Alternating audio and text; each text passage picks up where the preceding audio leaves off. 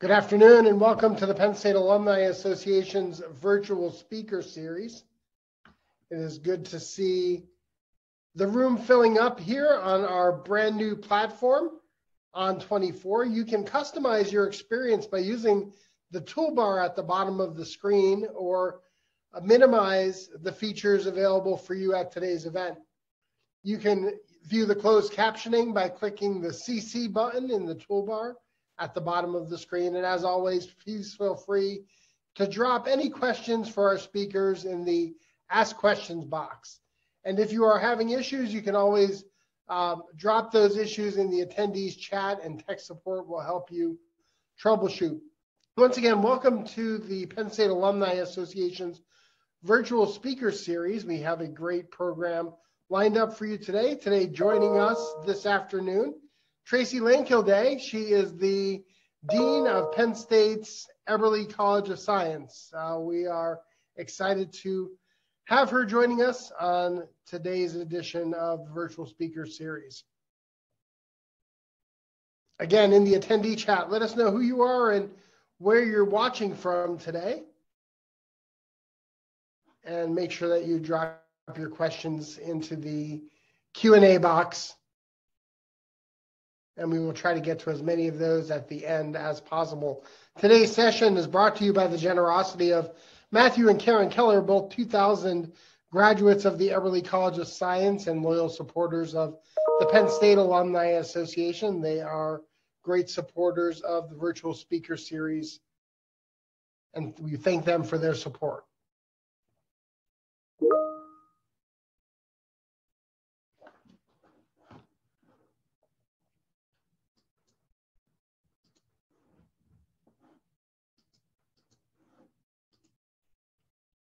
Where else would you rather be? Good afternoon, Penn Staters, and thank you for joining us. I'm Paul Clifford, CEO of the Penn State Alumni Association, and I'd like to welcome everybody to today's virtual speaker session, which is being recorded. Today's virtual speaker session is made possible through the generosity of Matthew and Karen Keller, both 2000 graduates of the Eberly College of Science and loyal supporters of the Penn State Alumni Association. The Kellers created a new program endowment at the Alumni Association and are sponsoring an annual event that features the Eberly College of Science, its professors, and students.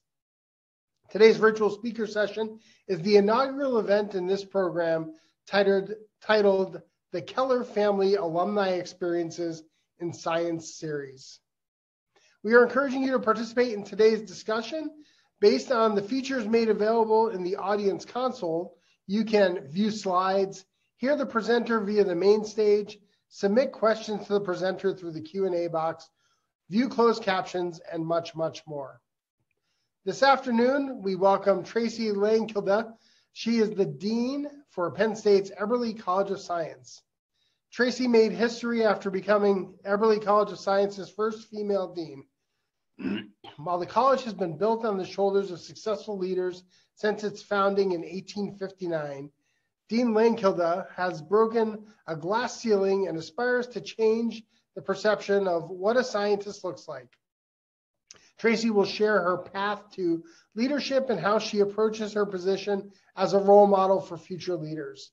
She shares her vision with the university to empower people of all backgrounds, to use science to solve the world's problems, and will highlight exciting initiatives that may help realize this goal. Tracy was appointed Dean of the Eberly College of Science in August of 2020.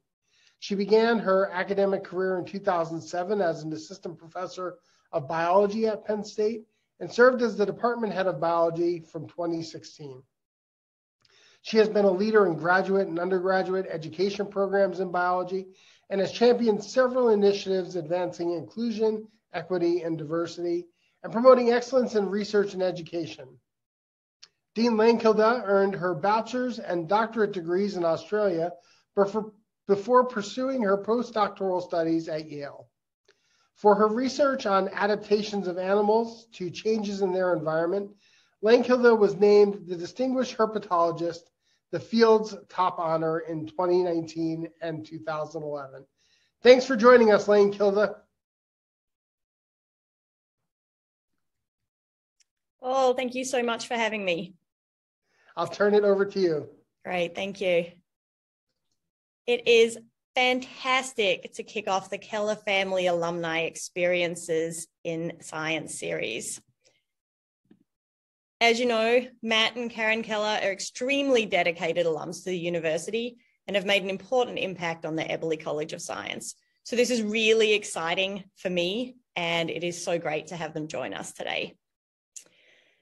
I became the Verne M. Willaman Dean of the Eberly College of Science in October 2020. To be honest, I did not fully understand or appreciate all that this position involved when I applied. And I've not regretted this decision for a minute. It is so exciting to build on the efforts and successes of so many incredible leaders since the college's founding. Over more than 150 years, our scientists have been instrumental in imaging the first atom, developing building blocks of computer science and programming languages, laying the foundation for the development of the birth control pill, helping to prevent the spread of infectious disease, and so much more. And our students, many of you here today, are using science to help change the world.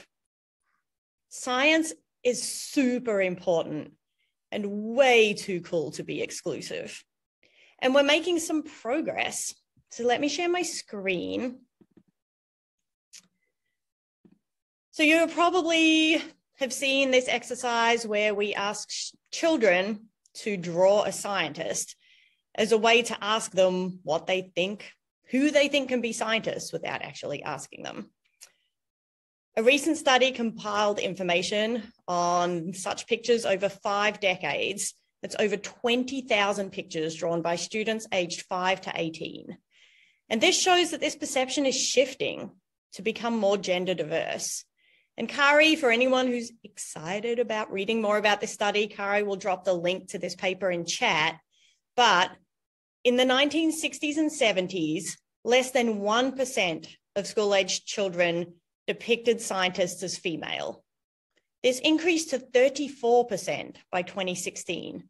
And for drawings penned by girls, over 50% depicted women scientists.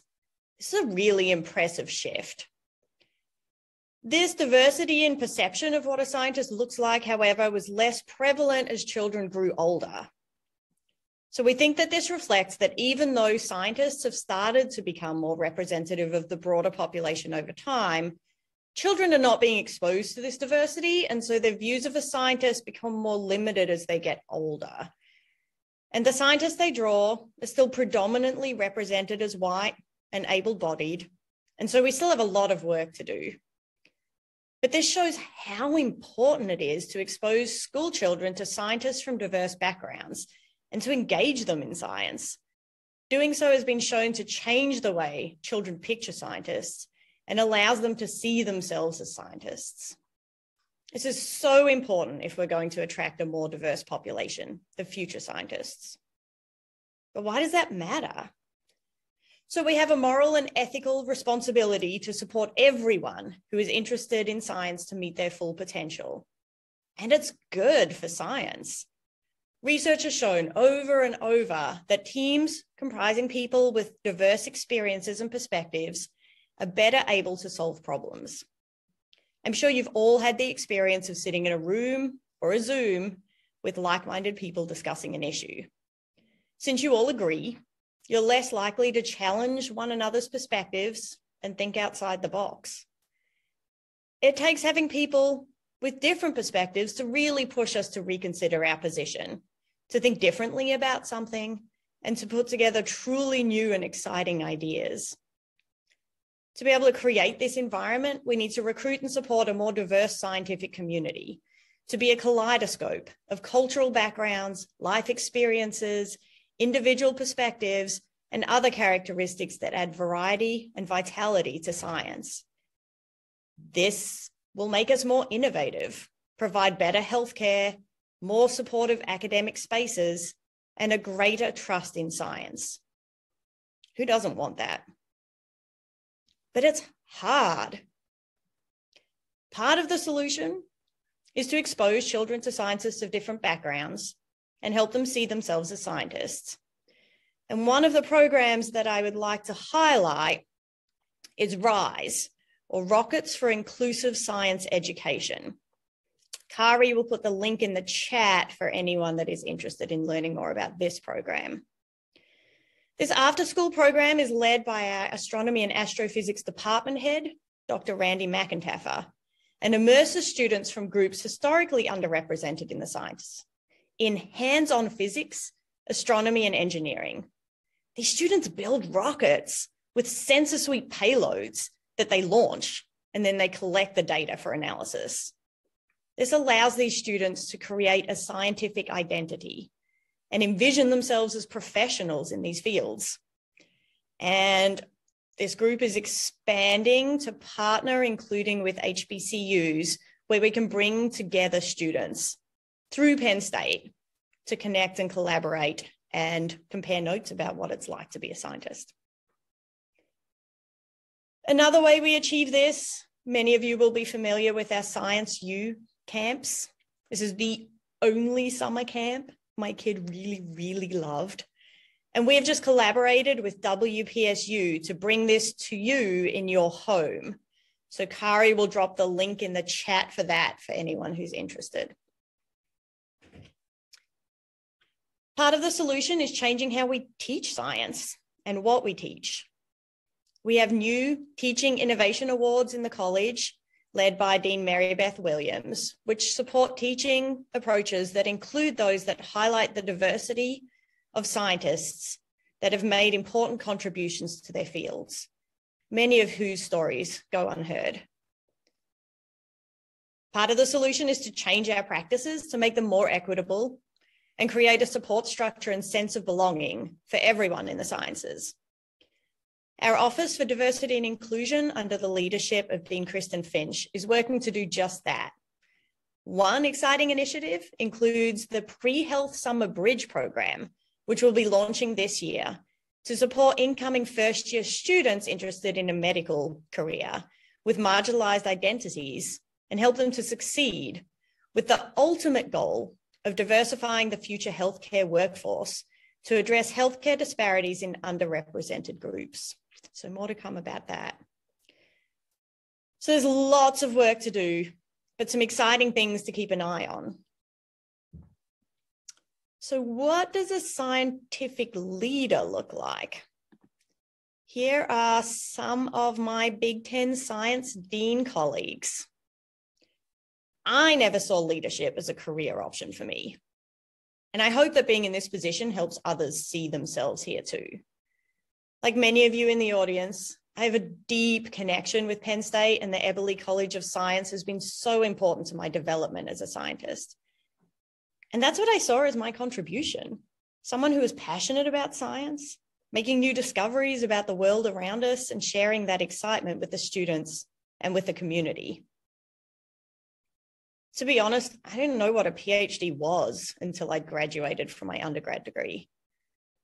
I got into research because a professor, Lynn Schwarzkopf, gave a guest lecture in one of my undergraduate courses that I was taking. She spoke about how pregnant female lizards, and these are live bearing lizards, can't run fast anymore. And so they have to entirely shift their anti predator strategies and their behavior and their physiology. This was so cool. And I really wanted to be involved. I got the opportunity to join her lab and this exposed me to scientific research as a career. I was going to be a dolphin trainer. My PhD mentor, Professor Rick Shine, then helped me understand the impact that I could have in academia through research and teaching and mentoring, and how cool it was to spend time in the forest watching animals and figuring out how they perceive their world and respond to changes in their world. Here I am with my little field helper when he was six years old and one of my students at our field site in Alabama. And he especially loved working on the Mexican jumping beans, which you can see they're bopping around slowly uh, on the right. They're not bopping. They should be bopping. Anyway, um, Kari will drop the link to my research page um, in the chat if anyone wants to learn more about that. So this brought me to the US for a postdoc. I was so scared. I remember visiting my mom before I left Australia. I was so worried about starting a postdoc at Yale. What if I didn't live up to their expectations? What if I failed in my research? Terrifying. But again, I had great supporters, including undergraduate students that joined me on my first research trips and worked with me to help figure out what we were doing. It was super hard and incredibly rewarding. And then I got a job at Penn State in the biology department. Now, this was clearly written in the stars because although it's a little dark, you might recognize that my husband was wearing a Penn State t shirt as we climbed a volcano in Vanuatu before we moved to the US. It's my dream job. I get to interact with amazing collaborators, do exciting research, and work with fantastic students. I found my niche research, mentoring, teaching, sharing the excitement of science. Was sad. And then our senior associate dean of curricular and instruction, Dean Mary Beth Williams, gave me my first exposure to leadership through a Tombrose fellowship in the college focused on undergraduate research, which I was so deeply passionate about. This gave me a peek behind the curtain at the impact that I could have in leadership and was so exciting. The seed was planted. Our previous dean, many of you may know Doug Cavener, was also a great mentor. He hired me as an assistant professor and it was an honor to subsequently follow in his footsteps as the department head of biology. But actually, what convinced me to apply for this position as department head was a meeting I had with teaching faculty after this job was posted. They were talking about such exciting ideas about how to effectively engage students in the classroom and had so much passion for our educational mission. The thought of being able to support this was inspiring and convinced me to throw my hat in. Being department head of biology was so rewarding, so much so that I almost didn't even apply for Dean because I didn't want to leave that job. I'm really glad I did. I miss biology, but I have the best job in the world. I get to support amazing people doing remarkable things, creating new knowledge across all the life and physical and sciences and math. And I've learned so much about these new research areas. I get to work with the next generation of scientists, scientists and leaders, and I get to learn from our amazing alumni.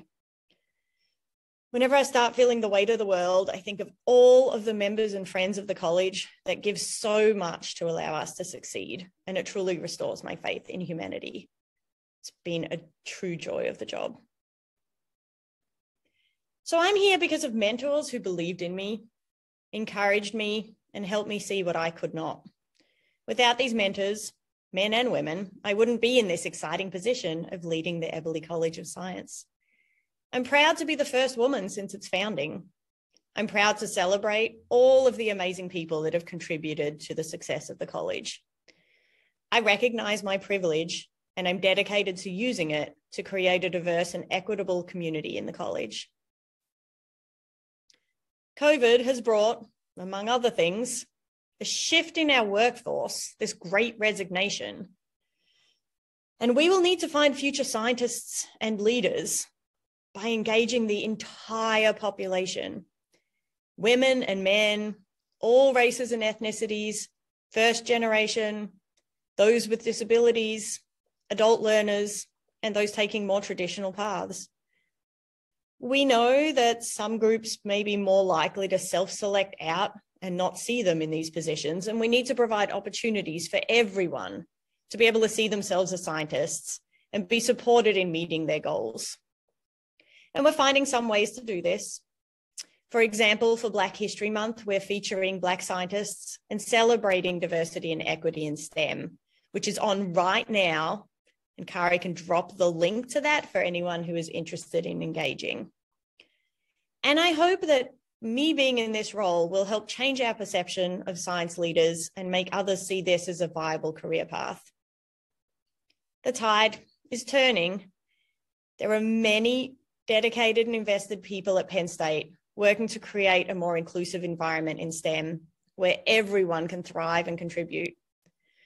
From showing K 12 students what a scientist really looks like and helping them see themselves there, to supporting students at Penn State in becoming scientists and applying more inclusive pedagogies in our classrooms, to giving scientists a chance, like I had, to experience how rewarding leadership can be. Diversifying STEM will take hard work and a group effort, and we will all be better for it. Thanks. Paul, back over to you.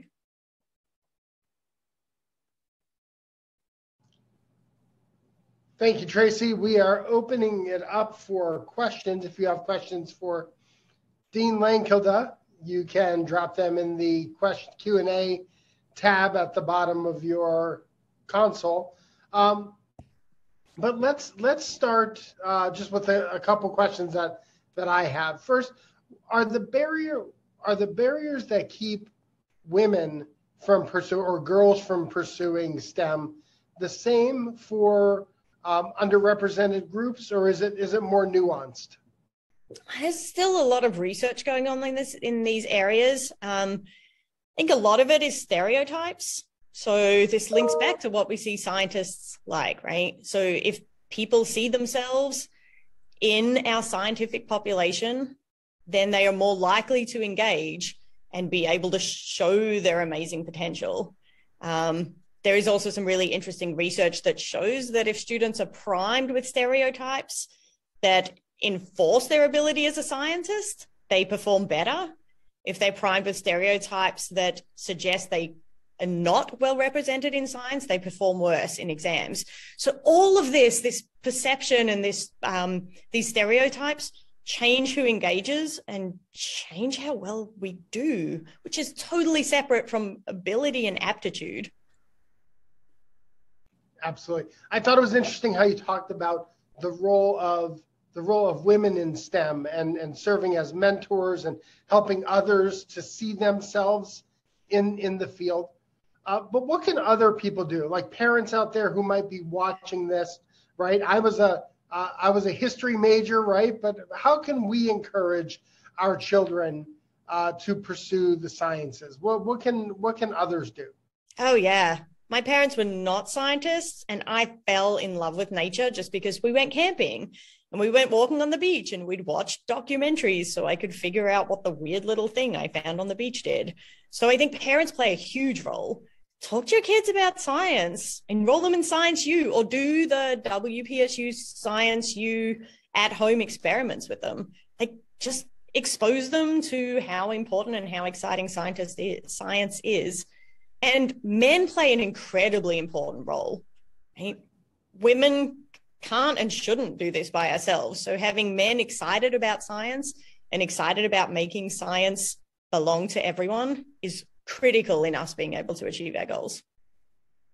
One of the things that we've done um, has been to get involved with Centre County 4-H, and I think um, when people think of when people think of 4-H, they think of the traditional right, agricultural origins of, of 4-H. Uh, but what we found and what my daughter has found a home in has been the, the Centre County uh, robotics team that, that, is, that is here in the county and competes um, nationally and internationally. Uh, but it's, it's, it's exposing your children to things like Science U uh, and those those things that kind of open up a new world to them.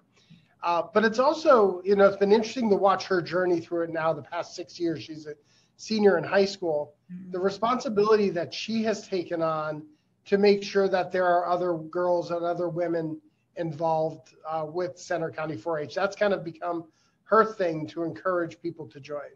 Oh, that's awesome. It is. Uh, question coming in here What is one piece of advice you could offer young people in pursuit of the seemingly elusive notion of balance, right? Trying to balance your professional life. Um, you know, for, for some, right, in academia, it might be the balance between teaching and research.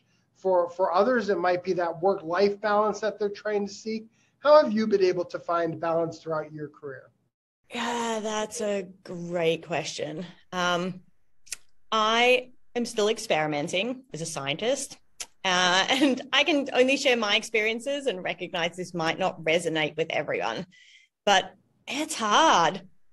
I think, firstly, we need to recognize that we cannot do everything and keep everybody happy. So we need to prioritize. Um, I always think of it as we're juggling, we're always juggling balls. Some of them are rubber, and if we drop them, it's okay. We'll find them in the corner later, or we can catch them on the way back up. Some of them are glass, and if we drop that one, it's going to have devastating consequences. So we need to think about what is important to us and our career path, what is critical to keep moving forward, and what we have some flexibility in. Some things can't wait. Sometimes that's family. Sometimes that's a work engagement, but there's hard decisions always. Um, I will say, I'm sure many of you have heard that phrase about put your own mask on first. I finally embraced this a few years ago and it is incredible. It has made me, I mean, I felt guilty the whole time in the first few months because I was like, I shouldn't be going for a run. I should be spending time with my family or writing a paper or, but it has made me a better leader and a better member of our family and just giving myself energy so that I have energy to give back. So look after yourself, make hard decisions, and then you just need to figure out what can give. Yeah, it's um we were talking about this when we were when we were off air. Uh, and that people think of these these circles that they're trying to find balance in as almost um, not connected, right? Where it's actually they're kind of overlapping Venn diagrams of, um, of you know, you can try to find ways to mm-hmm. be social and have fun in the work environment, right? You could try to find ways to incorporate family into what might be traditional, you know, work experiences. Mm-hmm. I know working in higher education, for example, my my children have been coming to Penn State alumni events, you know, since they've been since they've been little kids, and so um, it's it's trying to not necessarily put three hours in this bucket and four hours in this bucket, right? But try to find how there there might be some overlaps um, to find some balance with within the buckets that you happen to be in. Yeah, yeah, I mean, bringing my son into the field at the field station in Alabama was not always smooth, but it was such a great bonding experience. And he loved going out and checking out lizards. And so that allowed me to spend some time in the field while, I mean, we had complicated childcare issues and um, my mom's in Australia. So we would often coordinate her visits with a scientific conference. So her and my son would come with me to a conference and I'd spend some time at talks and some time touring around Oregon or whatever with them. So you're right. sometimes you need to be creative and just figure out how to blur those boundaries. Uh, you, you, talk about the time that you spent in Australia. Mm-hmm. Are are issues of um, kind of gender barriers in in the sciences? Is that is it a United States problem or is that an international problem? It's an international problem. Um, Australia has some additional interesting challenges of they call it the tall poppy syndrome, where if if one rises too high, you try and lop their head off and put them back in line. So I think that I mean every every country has its unique challenges, right? And so I think gender is um, a balance in science, and not it's not even just gender. I think is a worldwide challenge. And then there's additional cultural things that might exacerbate that, like um, certain groups of people not wanting to be too visible or not being able to take leadership positions, for example. You know, as you've come into this position as the dean of the Eberly uh, College of Science, diversity, equity, and inclusion has been something that you've publicly stated as being a priority for you as the dean and a priority for the college. Can you talk a little bit about your more about your commitment and specific strategies that you're employing? Yeah. So so I was actually originally born in South Africa and moved to Australia when I was 9 and then came over here for a postdoc. So I've had experiences in different countries where it's been very obvious that certain groups of people didn't have the same opportunities. Um, I, like I alluded to, I wouldn't be here except that there were the right people at the right time telling me, no, no, you should try this. This would be cool. And so, really, this is like many of our alumni, the reasons they give back is because they want to pay forward opportunities that have helped them succeed. So, this is my way of wanting to pay back and help include people that might not have been had the opportunity to be engaged in science if it weren't for the right people in the right place encouraging and supporting them. I wonder if you might give us a little bit more of an insight on um, kind of the, the high level points of pride for the college. Uh, one of the things that I was surprised um, that I learned about uh, Eberly College is that there's actually more medical research going on in the College of Science than there is in the College of Medicine. Now, it's not to throw shade at all on the College of Medicine. There's an awful lot of research going on across Penn State, but kind of um, intuitively, I had just assumed that maybe it was the College of Medicine that was leading the way in terms of research, but it's actually your college. Yeah, I think this has been one of the things I've really loved as dean. So, as department head of biology, I got to know a lot of the really cool biological research that was going on. And now I've got to learn about our research into black holes and um, curing diseases and data sciences and security and I mean all of the incredible things that we're doing across across the college. Um, I think research is one of our major points of pride and is really tightly integrated into our research. So our tenure line faculty teaching classrooms engage undergraduate students in their research, which I mean over my career I've had almost 50 undergraduates doing research in my lab and it brings such value, kind of thinking about diversity of perspectives. Our undergraduate students will often throw ideas out that we would never have thought of, and will take research in really exciting new directions. So, our research is really what we pride ourselves in, and using that as a framework to be able to train the next generation of, of scientists. And that's broadly defined, right? Um, we've been thinking a lot about our pre-med students at the moment because our uh, long-time pre-med director, Ron Markle, is getting ready to retire. And so we are faced with having to fill his very big shoes. And so we've been thinking about how we prepare our students for the medical field. And I've been reaching out to several alum for examples, and, and they've been really helpful um, how we can connect these students across the different colleges because not all pre-med students come through science, right? And so again, this bringing students together across the colleges to share different perspectives and discuss some really hairy problems in, in the medical world is really important. I've been thinking a lot as COVID starts mm, showing some signs of at least temporarily waning, and we've been able to send students back on international trips. I've been thinking a lot about how we can expand those experiences for our students. For me, going to an international conference was life changing. And I know our students that do our study abroad courses come back with experiences that they never thought they would have. And so, really thinking about how we can expand our education beyond the bounds of Penn State and the country to give our students some really interesting experiences and make connections. Yeah, it's, a, it's an important point that you bring up about um, students entering medical school, not all coming from a biology background or a pre pre med background. Uh, all you have to do is go to a white coat ceremony um, and and hear the where the, what the students studied. And there's mechanical engineers and there's English literature. Um, it's fascinating the paths that um, that people take to uh, to medical school. Yeah. Question coming in from the audience. What do you have to say about the amount of effort it takes to be a science in terms of education and experience versus the recognition and compensation on, on the other side of it?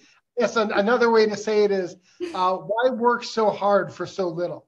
Yeah, that's a really interesting question. Um, and I think the recognition and income you get depends on the sort of science that you do. Um, many of our alumni have gone on to be really quite successful and been able to share that to help our students of need. Um, but those of us in academia, maybe not so much. And so I think you often hear you don't become a scientist for the money, you would do something else. So I think people in academia do it because they love the I mean it's it's like being an explorer.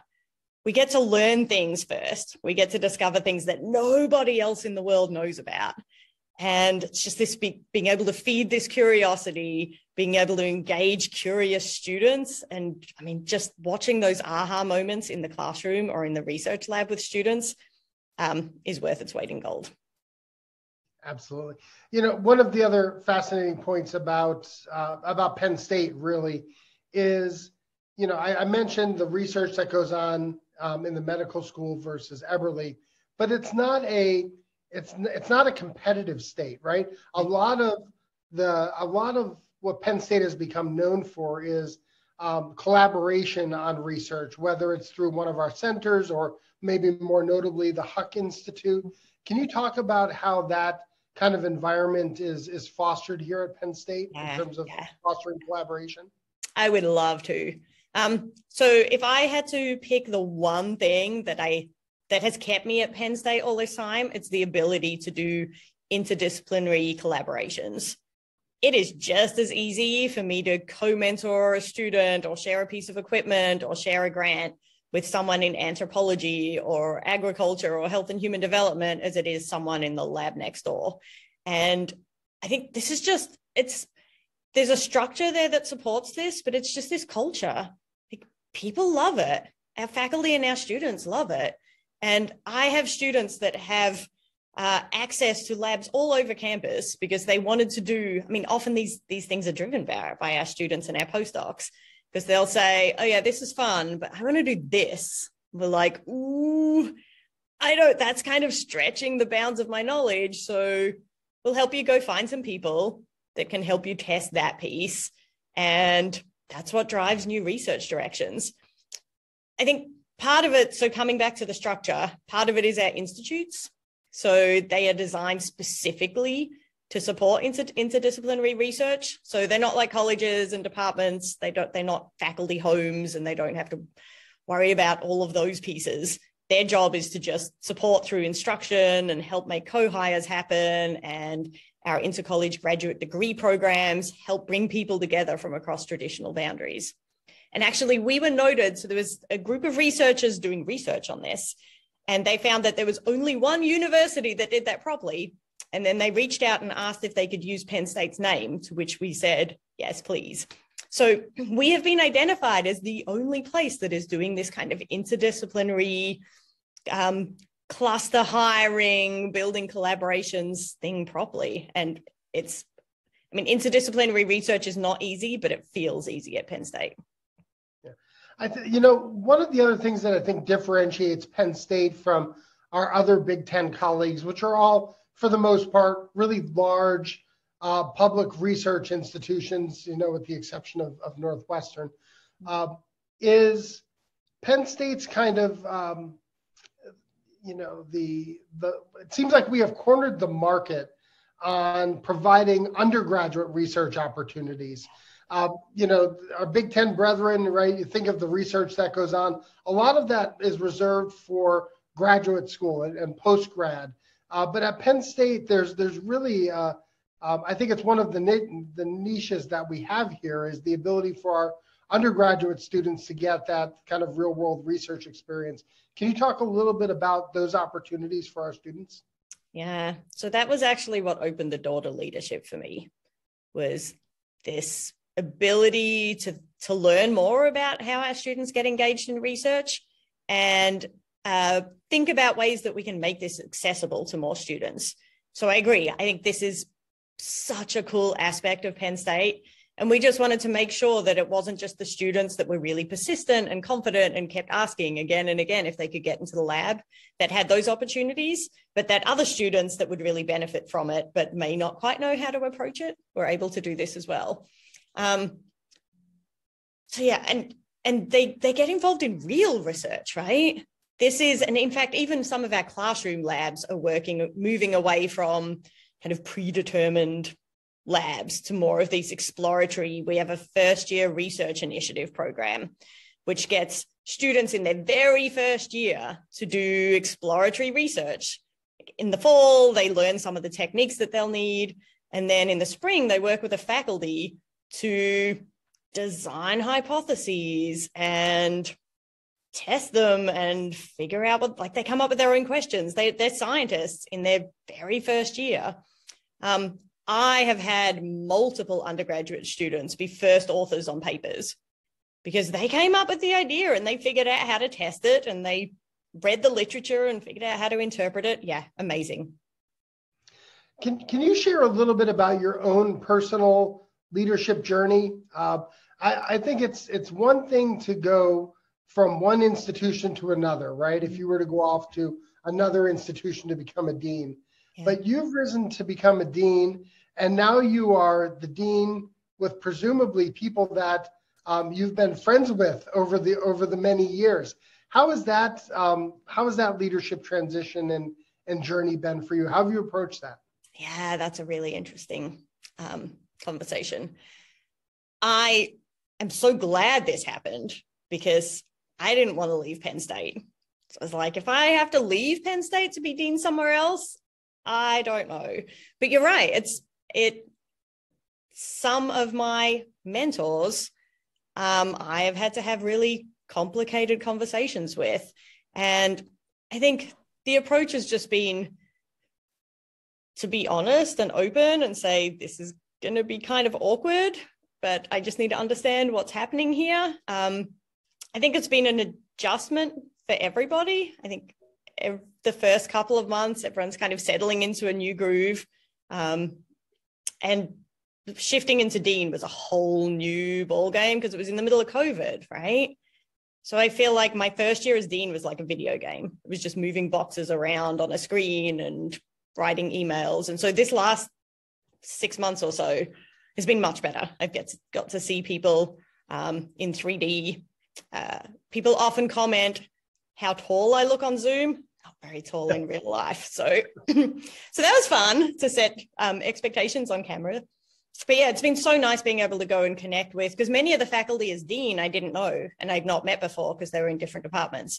So it's been really nice being able to wander around and see some of our labs and talk to faculty about what they're doing or their theory groups um, and get to see some of our alumni in real life. It's been amazing this edition of the virtual speaker series is actually made possible through a generous donation of Matt and Karen Keller, um, longtime supporters of the college, longtime supporters of the Penn State Alumni Association. Uh, can you talk a little bit about the importance of alumni involvement uh, with the college and, and in your role as the dean? Yeah, critical um, in so many ways. Uh, one that I've been exploring a lot more at the moment. So, our students are not all going to be academics, clearly. They shouldn't be. We are not, we're training scientists to do the breadth of science. But when our students come to us and say, I want to go into industry, we are not the experts and don't always have the best advice for them. So, uh, one of the upsides of COVID is we've all become incredibly competent at remote technology. And so our alumni have been zooming into classrooms to be able to give a little bit of background on their career trajectories or like they used to sit in that gen chemistry class not knowing what they wanted to do and now they're a patent lawyer for example and so, using our alumni to be able to share their experiences to inspire our students and expose them to the career opportunities that are out there for them is really key. Um, they also have amazing, all of you have amazing experiences to share. So, I have got some really valuable counsel from many of our alumni that serve in high leadership positions on just like what what should I not do in my first year? And how to increase chances of success and dream big. So, personally, um, alumni advice has been really incredible. And then, obviously, as we're coming to the close of our campaign, alumni donations have allowed our students to succeed when I know many of them personally were about to drop out of science in college. And these gifts, gifts from people to someone that they don't know. These students are always like, they don't know me. They're helping me and they don't know me. Like life changing, right? Um, right? And support for programs. Like there are things that we would love to do, but are outside of the scope of our funding resources. And so we've been able, a lot of the things I spoke to, uh, spoke about today were made possible by generous donors.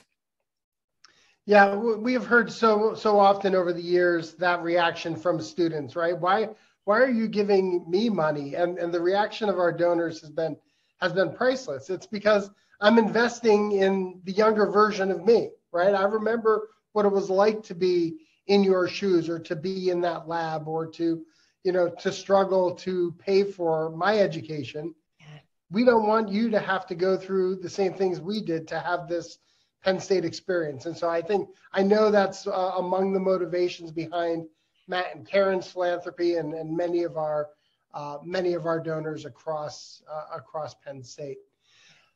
Um, I am.